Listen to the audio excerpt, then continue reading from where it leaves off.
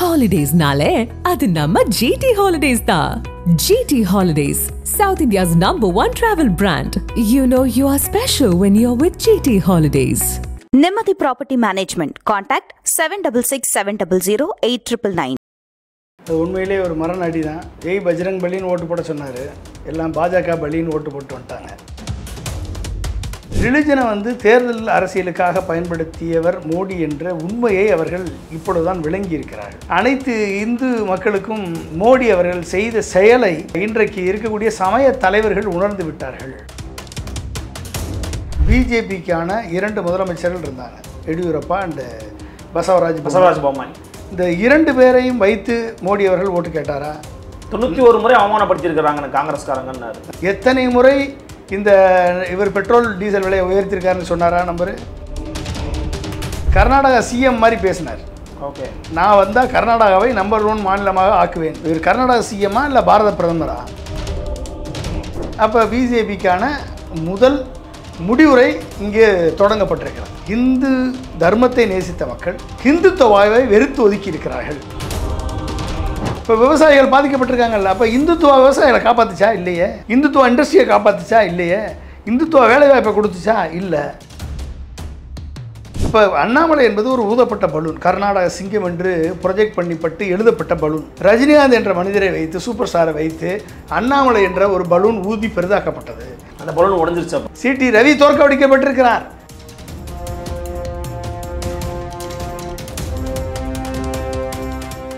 Fourth state தமிழியர்களுக்கு அருள்மொழிவர்மனின் அன்பு வணக்கங்கள். இன்று நமது ஃபோர்த் ஸ்டேட் தமிழ் ஊடகத்தின் பெருதினும் பெருதுகளை சென்றிருக்கிறார் டிஆர்டிஓ விஞ்ஞானி அப்துல் கலாம் ஐயாவுடைய ஆலோசகராக இருந்தவர் மரதக்குரிய திரு பொன்ராஜ் வெள்ளைச்சாமி அவர்கள். வணக்கம் சார். வணக்கம். எப்படி இருக்கீங்க? நல்லா இருக்கேன். மகிழ்ச்சி. பார்த்துருக்கீங்க கர்நாடக தேர்தல் முடிவுகள். காங்கிரஸ் வந்து ஒரு பெரிய ஒரு வெற்றியை வந்து பதிவு பண்ணியிருக்கிறாங்கன்னே சொல்லலாம். பாஜக காரங்களாம் பாஜக ஓட்டு போடும்போது ஜெய் பஜ்ரங் பலி அப்படின்னு சொல்லி ஓட்டு போடுங்க அப்படின்னு சொல்லியிருந்தாரு நரேந்திர மோடி அவர்கள் தன்னுடைய பிரச்சாரங்களில். பாஜகவுக்கு விழுந்த மரண அடின்னு சொல்கிறாங்க கம்யூனிஸ்ட் கட்சிக்காரங்க. எப்படி பார்க்குறீங்க அது உண்மையிலேயே ஒரு மரண அடி தான் ஜெய் பஜ்ரங் பலின்னு ஓட்டு போட சொன்னார். எல்லாம் பாஜக பலின்னு ஓட்டு போட்டு வந்துட்டாங்க. அதுதான் வந்து மக்கள் அது வெறுப்பை பிஜேபி சம்பாதித்திருக்கிறது. கர்நாடகா ஸ்டேட் வந்து எப்பயுமே ஒரு ரிலீஜியஸ் ஸ்டேட் அது வந்து லிங்காயத்துக்கள் மடாதிபதிகள். ஒரு சமயம் சார்ந்த மடங்கள் எக்கச்சக்கமாக இருக்குது கர்நாடகாவில் ரிலீஜியஸ் லீடர்ஸ் நல்ல சமூக சேவை செய்யக்கூடிய ரிலீஜியஸ் லீடர்ஸ் அதிகமாக இருக்காங்க. இவங்க எல்லாருமே பிஜேபிக்கு சப்போர்ட் பண்ணாங்க. பிஜேபி காலத்துல. ஆமாம் ஒரு காலத்தில் வரணும்னு ஆசைப்பட்டாங்க. அந்த நிலையை இன்றைக்கு மாற்றி இருக்கிறார்கள் அவர்கள். அவங்களே தான் மாற்றிருக்காங்க அவங்க மாற்றிருக்காங்க ரிலிஜியஸ் பிலீஃப் இருக்கிறவங்களே மாற்றிருக்காங்க பிலீஃப் இருக்கவங்களே மாற்றிருக்காங்க அதுதான் இன்னைக்கு ஒரு மெசேஜ் அப்போ ஏன் மாற்றினாங்க அப்படின்னு நீங்கள் வந்து பார்க்கும் பொழுது இந்த ரிலிஜனை உண்மையாக அந்த ரிலிஜனுக்கு உண்மையாக என்ன சொல்கிறோமோ அதை செய்யாமல் ரிலிஜனை வந்து தேர்தல் அரசியலுக்காக பயன்படுத்தியவர் மோடி என்ற உண்மையை அவர்கள் இப்பொழுதுதான் விளங்கி இருக்கிறார்கள் ரிலிஜனை வைத்து கொண்டு பதவிக்கு வருவது மக்களை ஹிந்துத்துவா என்ற வெறி பிடித்த ஒரு பாசிச கொள்கையை விதைத்து இந்துத்துவா என்று சொல்லி மக்களை யுனைட் பண்ணிட்டு ஹிந்து என்ற நிலையிலே அது ஜாதிய ரீதியாக மக்களை பிரித்து வர்ணாசிரம தத்துவத்தின் படி வந்து மக்களை வந்து வேறுபடுத்தி அரசியல் ஆட்சி முறை நிர்வாகத்தில் மக்களுக்கு அனைத்து இந்து மக்களுக்கும் சரியான இடம் இடம் கிடைக்காத அளவுக்கு மோடி அவர்கள் செய்த செயலை இன்றைக்கு இருக்கக்கூடிய சமய தலைவர்கள் உணர்ந்து விட்டார்கள் என்று தான் நான் நினைக்கிறேன். அது வெறும் வாய் சொல்லினால எவ்வளோ நாளைக்கு நீங்கள் வண்டி ஓட்ட முடியும்? அதாவது ஒரு மோடி அவர்கள் பிரச்சாரத்துக்கு வந்தார். கர்நாடகாவில் பிஜேபிக்கான இரண்டு முதலமைச்சர்கள் இருந்தாங்க. எடியூரப்பா அண்டு பசவராஜ். பசவராஜ் பொம்மாய் இந்த இரண்டு பேரையும் வைத்து மோடி அவர்கள் ஓட்டு கேட்டாரா?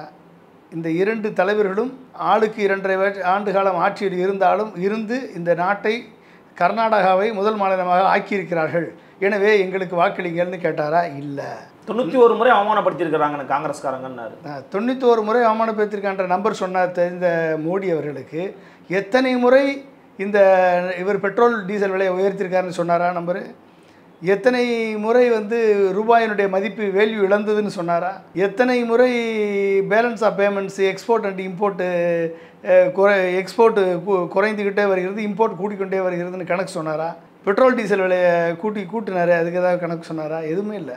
அதாவது இவரை இவருடைய இவர்கிட்ட எந்த ஆயுதமுமே இல்லை. அதாவது வளர்ச்சி நான் வளர்ச்சியை கொண்டு வந்தேன்னு சொன்னாரா? இது இல்லை. பிற பிரைம் மினிஸ்டராக இருக்கக்கூடிய ஒரு பாரத பிரதமர் மோடி அவர்கள் கர்நாடகா சிஎம் மாதிரி பேசினார். ஓகே. நான் வந்தால் கர்நாடகாவை நம்பர் ஒன் மாநிலமாக ஆக்குவேன். இவர் கர்நாடகா சிஎம்மா இல்லை பாரத பிரதமரா? பாரத பிரதமர். பாரத பிரதமர். அப்போ கர்நாடகாவை நம்பர் ஒன் முதல்வர் ஆக்கிறோம்னு சொல்லக்கூடிய பொறுப்பு யாருக்கு இருக்குது கர்நாடகா சிஎம்மா போட்டியிடக்கூடிய ஒரு தலைவருக்கு இருக்குது முதல்வர் வேட்பாளர். முதல்வர் வேட்பாளருக்கு இருக்குது அப்போ இன்றைக்கு பாரத பிரதமர் அதை சொல்கிறார் அப்படின்னா பிரதமர் தான் முதல்வர் வேட்பாளராக போட்டியிட்டார் என்று அர்த்தம். பிரதமர் தான் போட்டியிட்டார் என்று அர்த்தம். அவர் கையில் எந்த விதமான வளர்ச்சிக்கான நான் இதை செய்தேன் அதை செய்தேன் மக்களுக்கு இதை செய்தேன் மக்கள் மே- மேம்பட உழைத்தேன் என்று சொல்வதற்கு எந்த விதமான ஆயுதமும் அவர்கிட்ட இல்லை. அவர்கிட்ட இருந்ததெல்லாம் ரெண்டே ரெண்டு ஆயுதம். ஒரு கையில் பஜ்ரங் பலி என்ற ஆயுதம் இன்னொரு கையில் வந்து கேரளா ஸ்டோரி என்ற ஆயுதம். இந்த ரெண்டு ஆயுதத்தை வைத்து காங்கிரஸ் பஜ்ரங் தல்ல தலை செய்ய விட்டது. எனவே பஜ்ரங் பலி என்று ஓட்டு போடுங்கள் என்று சொன்னார். ஓகே மக்கள்லாம் போய் பிஜேபி பலின்னு ஓட்டு போட்டு வந்துட்டாங்க. சரிங்களா? பஜ்ரங் பலின்னு ஓட்டு போட சொன்னாங்க. பிஜேபி பலின்னு ஓட்டு போட்டு வந்துட்டாங்க. இந்த பக்கம் கேரளா ஸ்டோரின்னு சொல்லி சொல்லி பார்த்தாரு. இது ஒட்டுமொத்தமாக அது மக்கள் மத்தியில் எடுபடலை இந்து என்ற கருத்தை விதைத்து இந்துக்களுக்கு எதிரான கட்சி காங்கிரஸ்ன்னு சொன்னார். என்னை தொண்ணூத்தோரு முதல் அவமானப்படுத்தி விட்டார் என்று சொன்னார். இந்த நம்பர் சொல்ல தெரிந்தவருக்கு வளர்ச்சி திட்டங்களை இவ்வளவு செய்திருக்கேன்னு சொல்ல தெரியல அவருக்கு. பிஜேபிக்கு என்று சோறு எழுதிட்டாங்க. ஆமாம் அப்போ பிஜேபிக்கான முதல் முடிவுரை இங்கே தொடங்கப்பட்டிருக்கிறது. அப்போ இதுதான் வந்து கர்நாடக மக்கள் பிஜேபியை நேசித்த மக்கள் இந்து தர்மத்தை நேசித்த மக்கள் ஹிந்துத்துவாவை வெறுத்து ஒதுக்கி இருக்கிறார்கள் ரொம்ப தெளிவா இருந்திருக்காங்க. தெளிவாக இருக்காங்க. அப்போ ஹிந்துத்துவா என்ற சித்தாந்தம் அனைத்து மக்களுக்கும் மக்களுக்குள்ள ஒரு பிரிவினையை உருவாக்குகிறது. அனைத்து மக்களையும் வந்து ஒரு வேறுபடுத்தி காண்பிக்கிறது. இதனால் இந்து மக்களுக்கும் எந்தவித நன்மையும் இல்லை. எனவே இந்த வெட்டி சொல் வாய் சொல் வீரருக்கு வாய்ப்பு இல்லை என்று தங்கள் முத்திரையை தெளிவாக பதித்து எல்லா ரீஜன்லையும் அங்குங்கனாதபடி எல்லா ரீஜனும் central Karnataka Bangalore region old Mysore region Mumbai Karnataka இல்லை வந்து ஹைதராபாத் கர்நாடகா இல்லை வந்து கோஸ்டல் கர்நாடகா இப்படி அனைத்து ரீஜன்களையும் இன்றைக்கு ஒட்டுமொத்தமாக காங்கிரஸுக்கு ஆதரவு பண்ணுறாங்கன்னா நீங்கள் பார்த்துக்கோங்க. நார்மலாக கோஸ்டல் கர்நாடகாவிலையும் பெங்களூர்லையும் பிஜேபி அதிக ஓட்டு வாங்கியிருக்கு. அதிக சீட்டு வாங்கியிருக்காங்க. ஆனால் இந்த முறை வாங்கி அதிக சீட்டையும் இழந்திருக்கிறார்கள். ஓரளவுக்கு சமநிலைக்கு வந்திருந்தா கூட இழந்திருக்கிறார்கள். இப்போ அப்போ என்ன அர்த்தம்? ஒட்டுமொத்த பிஜேபி இன்றைக்கு முப்பத்தாறு சதவீத வாக்கை தக்க வைத்திருக்கிறது. ஆனால் வெற்றி பெறக்கூடிய வின்னபிலிட்டியை அடைந்துவிட்டது ஆனால் காங்கிரஸ் ஒட்டுமொத்தமாக இன்றைக்கு இன்றைக்கு லவ்வுக்கும் ஹேட்டுக்கும் இடைந்த நடந்த போரில் லவ் வெற்றி பெற்றது ஹேட் தோல்வி அடைந்தது. அவ்வளோதான் இங்கே. சிம்பிள் லாஜிக் அப்போ இந்திய தேசத்தை இணைக்க வேண்டும் என்று பாரத் ஜோடா யாத்ரா நடத்திய கா ராகுல் காந்தி மக்களின் மனங்களில் இடம் பிடித்திருக்கிறார்.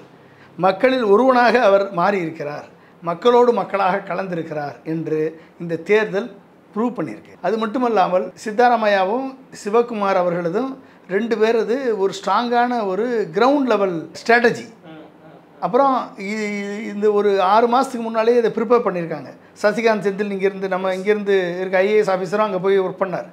இப்படி பல்வேறு பேர் இணைந்து இந்த கிரவுண்ட் லெவல் ஸ்ட்ராட்டஜியை கரெக்டாக எடுத்துகிட்டு கொண்டு போய் சேர்த்தாங்க மக்கள் மத்தியில் இதில் ஒன்று மட்டும் நம்ம தெரிஞ்சுக்கணும். ஒரு மெசேஜ் என்னென்ன அப்படின்னா இது ஒட்டுமொத்த பிஜேபிக்கும் மக்கள் கொடுத்த மெசேஜ் அப்படின்னா என்னென்னா எவ்வளவு நாளைக்கு வாய்ச்சொல்லில் வீரர் வாய்ச்சொல்லில் வீரரால் எந்த நாட்டு இந்த நாட்டிற்கு எந்த பலனும் கிடையாது என்று மக்கள் முடிவெடுத்து விட்டார்கள்.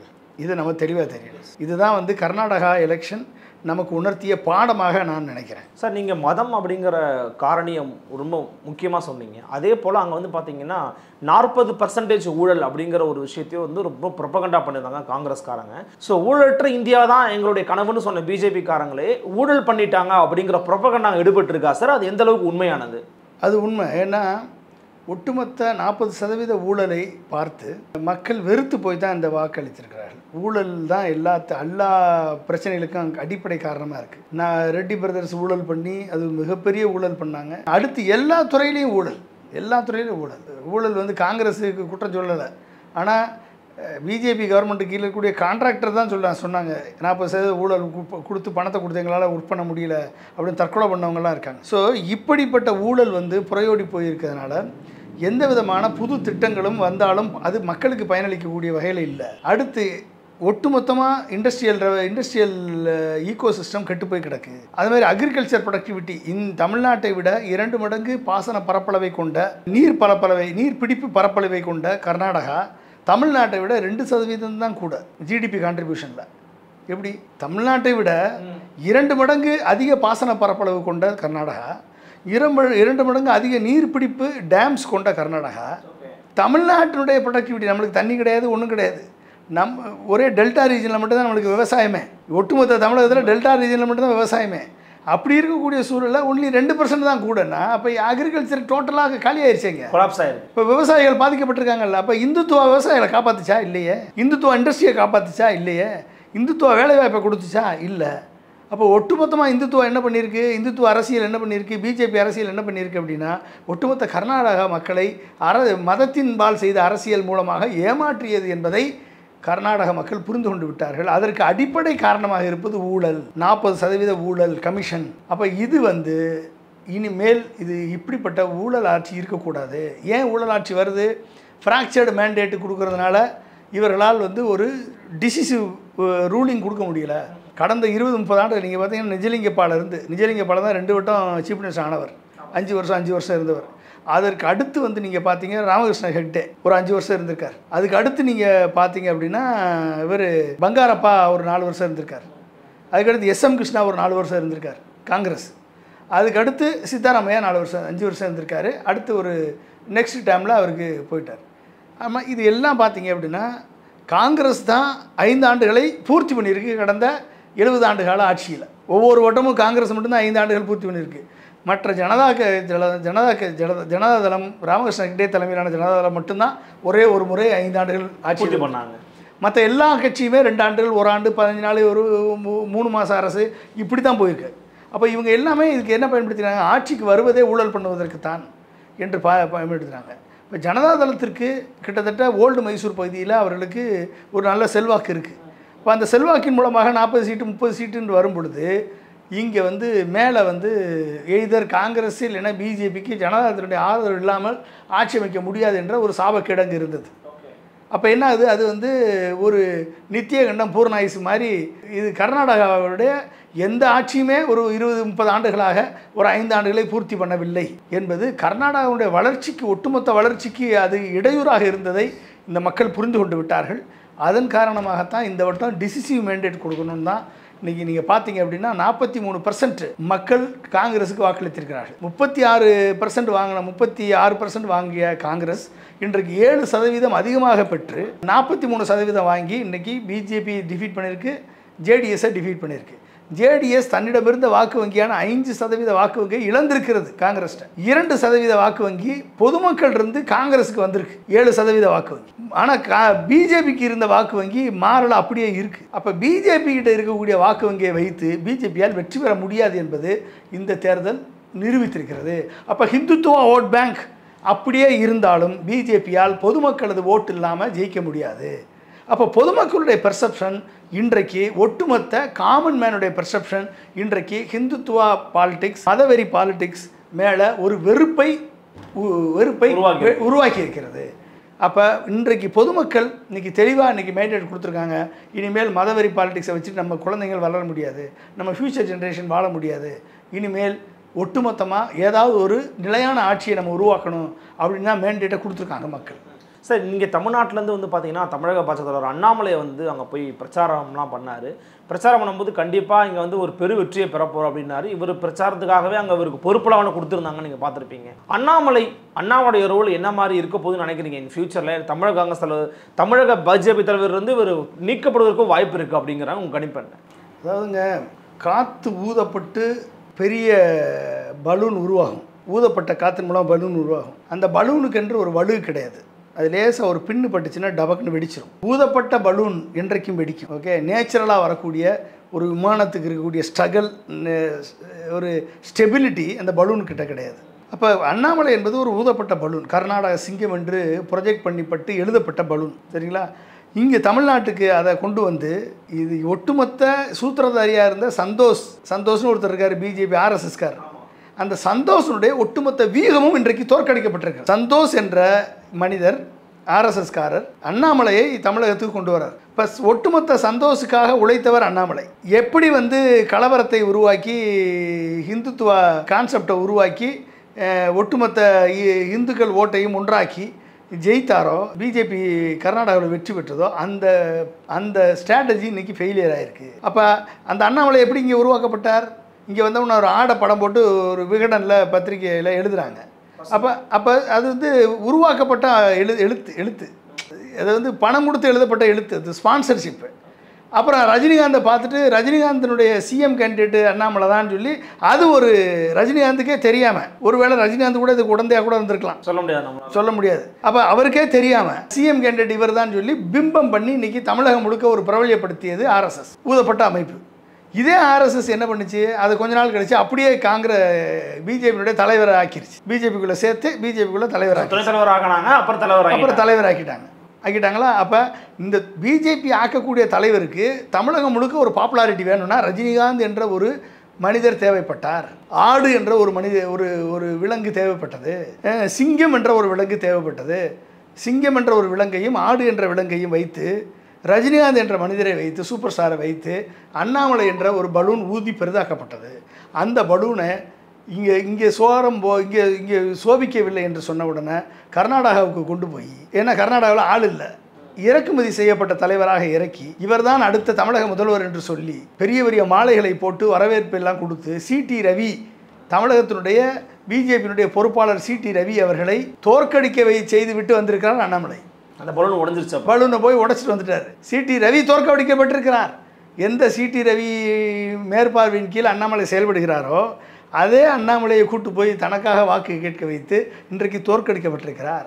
எந்த அண்ணாமலை தமிழக மக்கள் அதிகமாக வ- வசிக்கக்கூடிய புலிகேசி என்ற பகுதியில் புலிகேசி என்ற பகுதியில் தமிழ்தாய் வாழ்த்து பாடக்கூடாதுன்னு ஈஸ்வரப்பான்னு ஒரு பிஜேபி தலைவர் தடுத்து தமிழ்தாய் வாழ்த்தை பாட விடாமல் செய்தவர் ஈஸ்வரப்பா என்ற தலைவர். முஸ்லீம் வாக்கு வேணாம்னு சொன்னவர் அவர்தான். ஆ, முஸ்லீம் வாக்கு வேணாம்னு சொன்னவர் அவர்தான். முஸ்லீம் நாலு பர்சன்ட் இடஒதுக்கீடை ரத்து செய்வேன்னு சொன்னவர் அவர்தான். இப்படிப்பட்ட பிரிவினைவாதியோட ஒரே மேடையில் நின்று தமிழ்தாய் வாழ்த்தை அவமானப்படுத்தியவர் அண்ணாமலை. இங்கே வந்து மெட்டு சரியில்லை டியூன் சரியில்லைன்னு சொல்லி இங்கே வந்து கதை விட்டார் அவர்.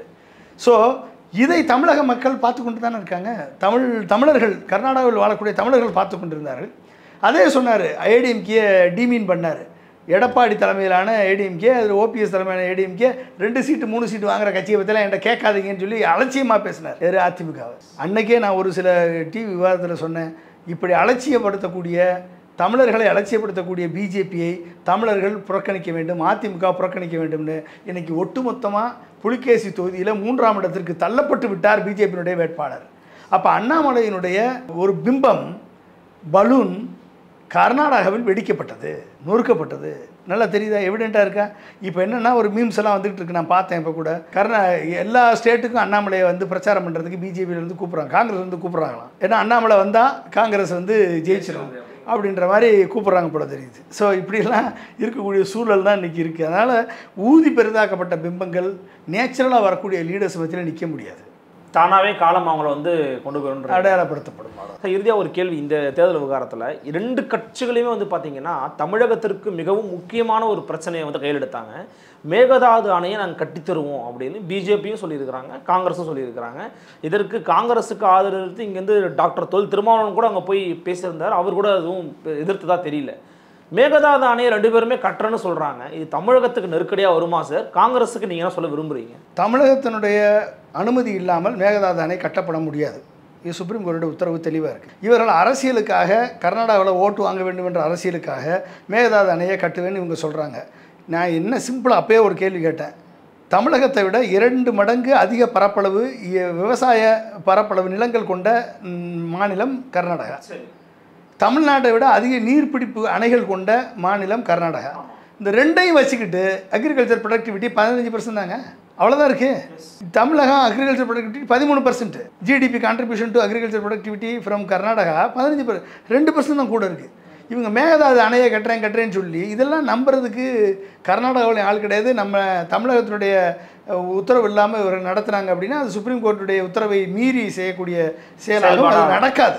நடக்காது என்று தெரிந்து தான் அவங்க செய்கிறாங்க அது அரசியலுக்கு அவர்கள் செய்யக்கூடிய வேலை. இதை செய்ய முடியாது அவர். வாக்குறுதிக்காக கொடுத்துருக்குறாங்க சும்மா? கொடுக்குறாங்க. நம்ம பஜரங்கத்தில் தடவணும் பிஎஃப்ஐ தட பி பிஎஃப்ஐ தடவணும்னு சொன்னாங்க. பிஎஃப் ஆல்ரெடி தடை பண்ணியாச்சு. பஜரங்கத்தில் தடவணும் அப்படின்னு இவங்க சொல்கிறாங்க அப்படின்னா அது அது எப்படி மக்கள் எடுத்துக்கிட்டாங்களோ அது மாதிரி தான் இதுவும். நிச்சயமா சார் பல விதமான கேள்வி ரொம்ப நிதானமாக பொறுமையாக எளிமையாக பதிலளிச்சிங்க. மிக்க நன்றி. நன்றி அருண் நண்பர்களே மீண்டும் ஒரு சிறப்பு நேர்காணலை சந்திக்கலாம். நன்றி வணக்கம்.